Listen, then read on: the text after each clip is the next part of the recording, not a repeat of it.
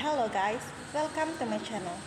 FDI liberalization in insurance companies and harmonization of insurance regulation, what has changed in the year gone by? As well as indirect shareholding of foreign investors in an Indian insurance company directly Indian investor or promoted indirectly is taken into consideration, the ambiguity, however, lies in whether indirect shareholding of a foreign investor should be taken into consideration for the purpose of the cap, only if such indirect foreign investor has also directly made investment in the Indian insurance company. This aspect is not quite clear from the regulation itself. Moreover, to include direct and indirect foreign investment in India insurance companies from the same foreign investor does not appear to be in alignment with the spirit of the intention of the IRDAI. In the light of the above, further investment in Indian insurance companies should be made pursuant to a thorough analysis of the already existing foreign investment, direct and indirect, in such Indian insurance companies. More so, if the holding company of the relevant Indian insurance company is foreign owned and controlled. The amendment to the registration regulation has also introduced the requirement for a, an insurance company with foreign investment that is seeking registration to have either the managing director, chief executive officer, or the whole-time director, along with the promoter of the company to submit an affidavit to the IRDAI certifying compliance with the residency and citizenship qualification in addition to the application for a grant of registration certificate.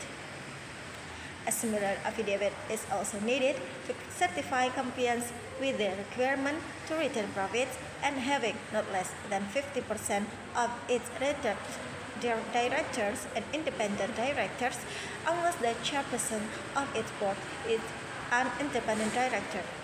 If the foreign investment of the company seeking registration is more than 49%. The amendment has also introduced a requirement for assigning insurers to submit an undertaking along with relevant attachments confirming their compliance with the residency and citizenship qualification, signed by the Chief Executive Officer and Chief Compliance Officer. This undertaking is required to be submitted to the IRDAI within 45 days of the board meeting on which such compliance is confirmed.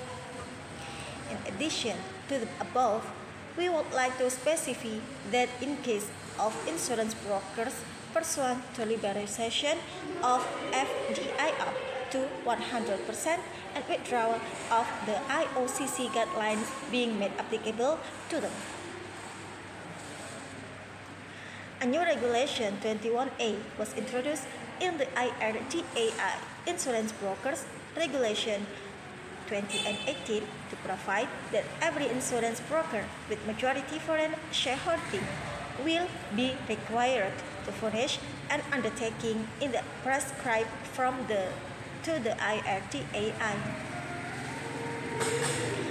By way of such undertaking, insurance brokers are required to confirm that they will procure prior IRDAI permission for repatriating dividend bringing in latest technological, managerial, and other skills.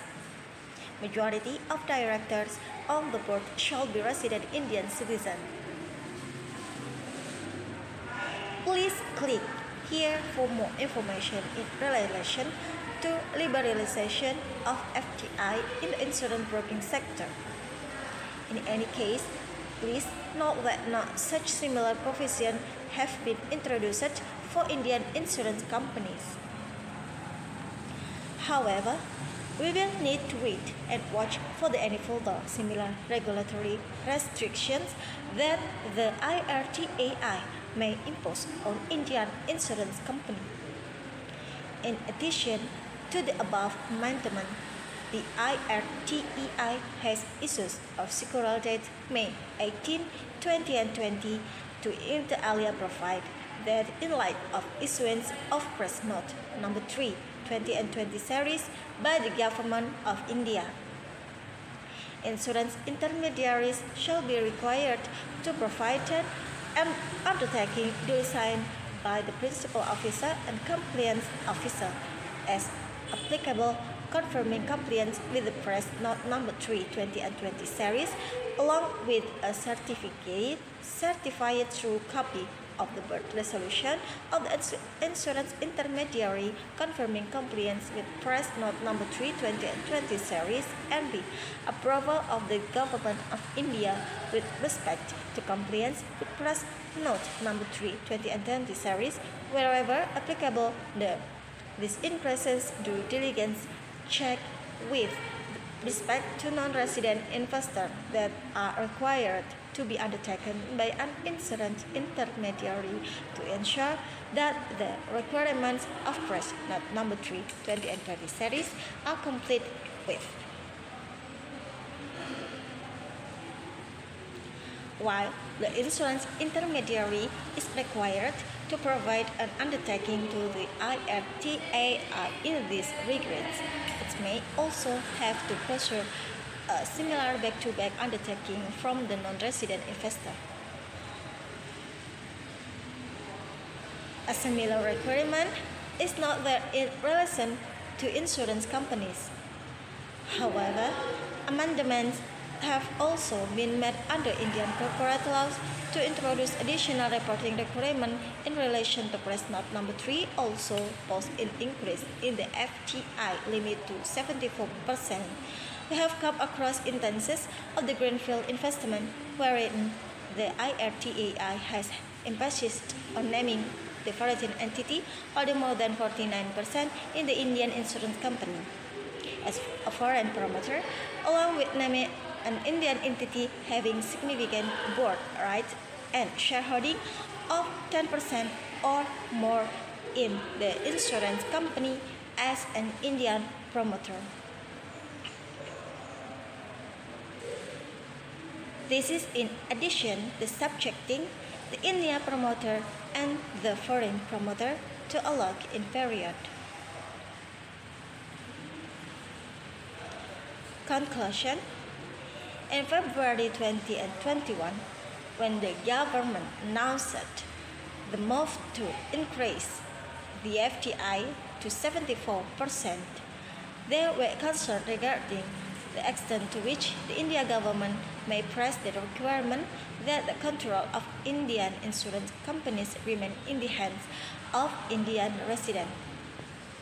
However, accept certain residency requirements for directors and key managerial personnel and the requirement to appoint additional independent directors as discussed above.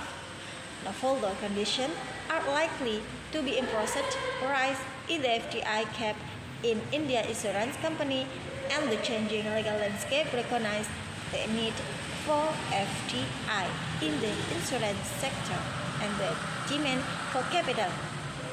Better uh, now how and global best practice. Thereby, this change in the FDI limit has renewed investment activities in the last one and a half years and triggered multiple transactions involving increases FDI in Indian insurance companies.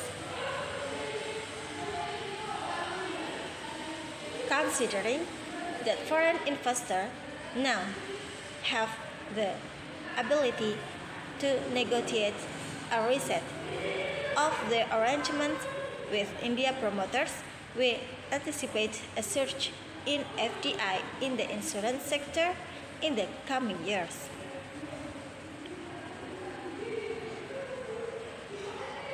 Okay guys, thank you for watching this video. Don't forget to subscribe and share this video to your friend, to your family, uh, to others, and to you someone love. And happy enjoy it. Thank you for watching and bye.